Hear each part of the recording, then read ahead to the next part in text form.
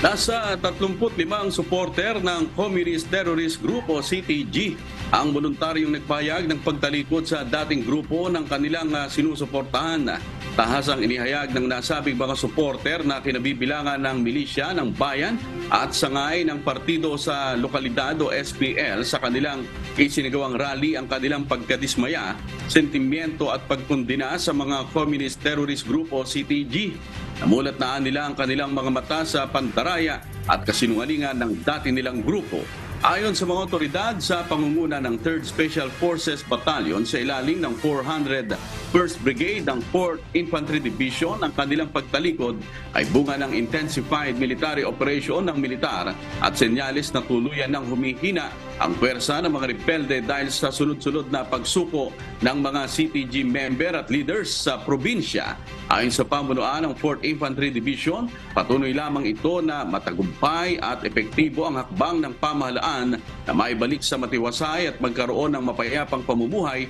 ang mga dating rebelde hindi lang sa lalawigan ng Agusan del Norte at Caraga Region kundi sa buong bansa.